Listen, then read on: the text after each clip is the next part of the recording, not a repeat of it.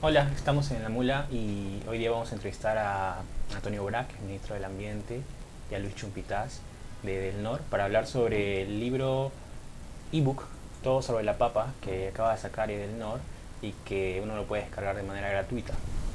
Antonio, ¿qué tal? Bienvenido aquí a La Mula. Creo que es la Buenas, ¿qué tal? primera vez que estoy en La Mula. Me alegra, me alegra. Espero que no sea la, la última, seguro vamos a invitarte más, más veces. Cuéntame, ¿cómo surgió esta idea de hacer el, libro sobre la papa? ¿no? Es creo el primer libro de una serie de libros que ustedes, que él no ha sacado y. Bueno, el año 2008, año internacional de la papa por las Naciones Unidas y el próximo año es el año internacional de la quinoa. Surgió la idea con Edelnor de, a ver, publiquemos pues un libro sobre la papa de amplia difusión. Y salió un libro sumamente bonito, donde hay la historia de la papa y todo lo demás, y después en cada página, junto con la historia, los distintos platillos que se pueden preparar con la papa. Y esto fue exitoso porque se repartieron, se distribuyeron y en parte se vendieron muy barato, 15 mil ejemplares, y ahora esto hay que hacerlo accesible a todo el mundo. Entonces se ha hecho la parte esta interactiva, electrónica, en el Perú la van a poder utilizar totalmente gratis y en el resto del mundo se va a tener que pagar un dólar para bajarlo y usarlo. Y es genial porque uno entra, eh, le da la receta, le da la historia, le da esto. Muy, muy bonito. Y ya tenemos la promesa de hacer el libro de la quinoa el próximo año. Es verdad. Luis, este, ustedes tuvieron, digamos, este, con Antonio trabajaron eh, en este libro que cuando salió este, le ganó en ventas a Harry Potter. Así es. Bueno, esta es una, una, idea, el primer libro, como menciona Antonio, el primer libro de una serie de publicaciones. Eh, qué mejor que empezar con nuestro, nuestro alimento de bandera, ¿no? La papa. Y, este, este libro, de hecho, lo, lo vendimos a un, precio súper barato, una colección de lujo. Y digamos, por el precio, por lo interesante del, del, del libro, eh, le ganó durante una semana a Harry Potter en su estreno en, las librerías este, en las librerías peruanas.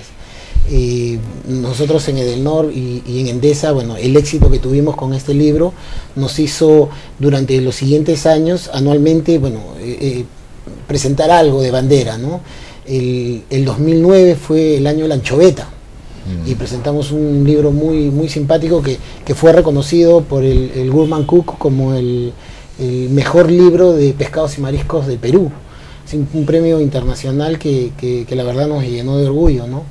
El siguiente año fue el libro de postres, no podíamos dejar a los, nuestros postres, ¿no? los postres de, nuestro país, igual con su historia, con sus recetas, con, historia, con recetas que ya se están perdiendo en el tiempo. Eh, el, cuarto libro fue el de Mercados y Carretillas, el éxito de la comida peruana. Eh, no se puede hablar del éxito de la comida peruana sin eh, los precursores, que son los mercados y carretillas. ahora tenemos, vamos a sacar un nuevo libro, pero todavía no lo podemos anunciar. Bueno, Antonio ya no lo acaba de anunciar. No, no, no, no, hay otro listo, hay otro listo. Este es 2012, Antonio habla del 2013. Antonio, este, en este libro hay como, digamos, había la propuesta de las recetas y la historia, ¿no? Eh, y digamos, ¿cuál es la importancia de la papa y cuál es su relación con la cultura peruana, ¿no? A ver si nos cuentas algunas anécdotas, algo, importante ahí. La papa se comenzó a domesticar en el Perú hace 10.000 años. Los restos en las cuevas del Callejón de Huaylas, en Huanta y Acucho, ha sufrido un proceso larguísimo tenemos en el Perú 91 especies de papas silvestres, 8 especies domesticadas, son las papas, no la papa en el Perú. 8 especies domesticadas y 2.321 variedades. Eso se ha ido desarrollando en 10.000 años. Y ese conocimiento y esos recursos genéticos nos han llegado a nosotros. Y pensar el Perú sin papas, sin maíz, eh, es imposible. Sin oyuco, sin charqui, etc. Pero el mayor impacto de la papa es que es uno de los cuatro alimentos fundamentales del mundo. Está el arroz y el trigo del viejo mundo y está el maíz y la papa del nuevo mundo. De los cuatro, el más cultivado es el maíz, 800 millones de toneladas al año, la mitad lo produce Estados Unidos, Norteamérica. De la papa se cosechan al año cerca de 400 millones de toneladas, China 90 millones y concebir Rusia, Europa, América del Norte, Canadá, Irlanda, etcétera, sin papa es imposible hoy en día. Claro que esta introducción de la papa a Europa entró por razones estratégicas de alimentar ejércitos.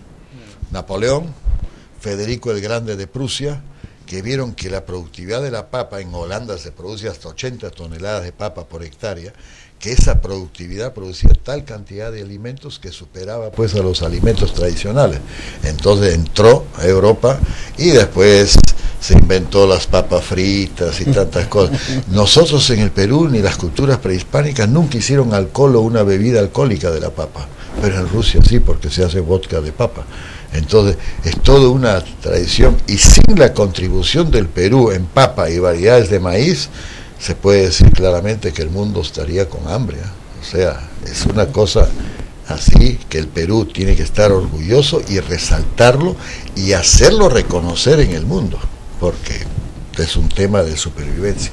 Aparte de este impulso para reconocer y introducir la papa como marca peruana, también es la labor de Del Nor. Luis, uno se preguntaría del NOR, este, da servicios de electricidad y por qué sacar libros tan bonitos sobre la papa, la anchoveta, el 2013 sobre la quinoa. Bueno, eh, en el NOR y, todo el grupo Endesa en general tienen una política de responsabilidad social eh, en varios aspectos, ¿no? en educación, en salud, en cultura y en medio ambiente. ¿no? Y, creo que el aporte de la cultura, de, la papa a la cultura peruana, ahora que digamos está creciendo el tema culinario, más que nunca, eh, y, digamos complementando lo que dice Antonio, ¿no? de que el mundo sin papa no existiría, es que eh, llevamos esta publicación primero, digamos, al mercado peruano con una publicación impresa y ahora con la tecnología pues llevamos las papas al mundo entero. Y, digamos es una, una publicación que en cualquier parte del mundo, de hecho que los peruanos van a ser los primeros en, en, llevar y de hecho que en este momento la, la mayor cantidad de descargas está viniendo también de, del extranjero, ¿no? De, hecho, los peruanos. El libro se puede descargar desde la página del rincón de Endesa.p. Así es. Eh, tiene cuatro versiones, eh, digamos. Han hecho también para este, en inglés, ¿verdad? Así que se comercializa, eso sí, eso tiene un costo por Amazon y por, por la página de Apple. Y la descarga del libro en español es gratuita para los peruanos. Así es. Este, entran al rincón de desa.p, descargar el libro ebook de la papa y este, ustedes pueden bajarla en su computadora, pueden leer el libro en su computadora en la versión de, Amazon y si tienen un iPad se bajan la versión de iPad y también lo van a, lo van a poder ver de una manera interactiva. ¿no? De hecho el libro en la versión iPad, no sé si se tiene en realidad unas cosas muy interesantes. ¿no? Uno tiene las fotos, uno puede navegar a través de las fotos. Tomar nota tomar es tomar Puedes nota. sacar la etiqueta, la fórmula para preparar el platito. genial, genial. No, es lindo. Sí, es un, es un gran libro, gratuito, así que este, la idea creo que también la comparte del NOR, porque la Mula Publicaciones... Eh, Además, para freír papas se necesita electricidad. creo que por ahí va el negocio. No, es, es, una contribución a la cultura peruana, ¿no? que, que que lo merece, que merece no solamente este reconocimiento, sino también esta difusión, ¿no? Y, de hecho esta, esta versión que la podemos descargar, como mencionas, gratuitamente en el blog eh, www.elrincondeendesa.pe, eh, digamos, ahí es donde estas, estas tres versiones para PCs, eh, para tablets eh, y también versión versión este iBook para, para smartphone para teléfonos móviles. para teléfonos móviles eh, así que bueno está la invitación para que hagan la descarga gratuita y, y de hecho que en el extranjero muchos peruanos van a ver las recetas y van a ver las fotos. Increíble un trabajo de investigación de, de Antonio Brack con unas fotos que la verdad este, sí, las fotos eh, llaman al de gran, llaman gran calidad ¿no? llaman al apetito. Llaman al apetito recetas historia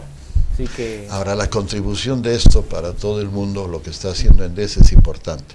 Cuando yo era estudiante en Alemania haciendo mi doctorado a principios de los 70 yo preguntaba a los alemanes que comen papa pues en cantidad y de dónde viene la papa no sabía.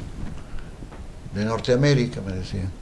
Yo pues me sentía, todo esto va a fortalecer Así también de que es de acá, Así Perú, es. y está pues con su banderita. Todo bandera peruana. Bueno, gracias Antonio, gracias Luis, Antonio por la iniciativa, creo que esto es un origen fruto de tu...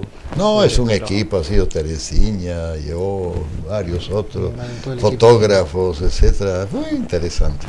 Ok, bueno, gracias y para la, hasta la próxima. Gracias. Muy bien.